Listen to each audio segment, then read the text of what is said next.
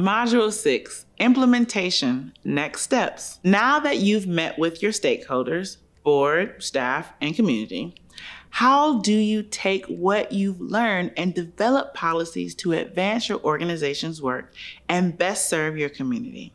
This module will explore next steps by evaluating if your organization is prepared to undergo a cultural shift. We'll look at outlining opportunities to be addressed and create an execution plan. Lesson one Determining readiness. Determining organizational readiness is important when constructing a plan for equitable leadership. Such assessments help determine the current realities people experience within and outside the organization. They identify gaps in areas of focus as well as new opportunities that could be explored.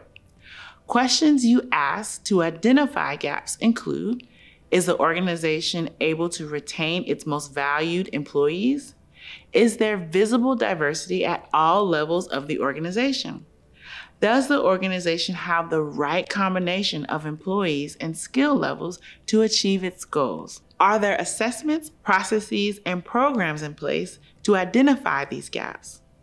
Activity. You have completed a personal inclusion assessment.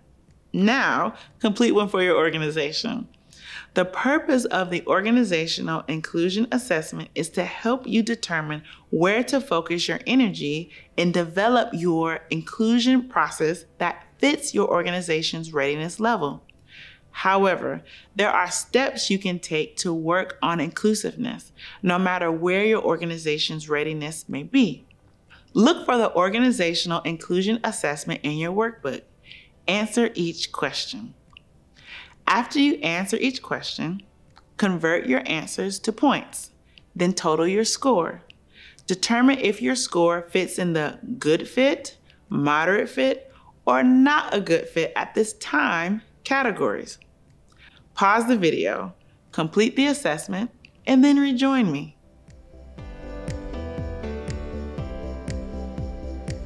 What did you find? Is your organization a good fit? That means the organization is ready to consider a comprehensive strategic plan for diversity, equity, and inclusion. Is the organization at the moderate fit stage? That means it may be a good idea to start slow and focus on specific areas to develop inclusive strategies. Or is creating a DEI plan not a good fit at this time? That means a comprehensive strategy that might be a cultural overhaul will likely not work with your organization at this time. Given the level of buy in and the resources available, you may need to take an incremental approach. Activity Review the outcome of your organization's inclusion assessment and consider any information you collected to this point. You will outline a preliminary action plan. Review the chart in your workbook. There are three categories. The first is opportunity. Write down three to five gaps you have identified thus far. This can include training managers on giving and receiving feedback, revising the organization's mission, vision, and values, or auditing policies and practices. The second column is for actions to be taken. This could include reaching out to external consultants to lead training or conduct an auditing process. The third is ways to measure success. This could consist of before and after surveys evaluating training, or creating a team of your in house legal expert, HR director, and representatives from various levels in the power hierarchy to review the new suggested policies and practices and identify problems and solutions. Pause the video, complete the activity, then rejoin me for the rest of the lesson. Keep that preliminary action plan handy. You can build on it later.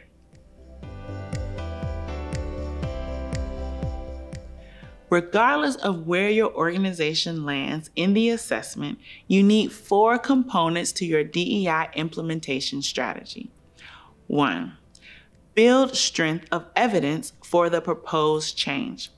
What are the current realities being experienced inside and outside your organization?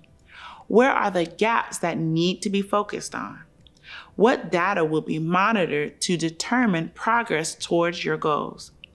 How might you use a cultural audit, focus group information, engagement surveys, demographic data, and other stakeholder assessments? All the data you collected throughout this course will be relevant to build support for your initiatives. National and local data, listening tours, and the business case articulate why your equitable leadership goals are necessary and critical to the organization's development. Two, determine necessary leadership support. What is the commitment from leadership? How will you sustain encouragement from your managers and peers? How will you acquire financial support? Identify a champion who can support you in your absence. Champions can include peer leaders, board members, or other influential stakeholders. Three, create conceptual clarity. This is how you articulate shared concepts of diversity, equity, and inclusion. All stakeholders should be able to define and interpret terms in the same way.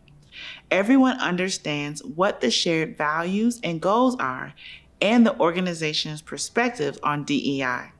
With this clarity, everyone can have personal ownership over their role in moving equitable practices forward. Four, outline an integrated approach. This framework explains how diversity, equity, and inclusion are intertwined in every department and throughout all levels of the power hierarchy within the organization. Complete this activity, and I'll see you in the next lesson.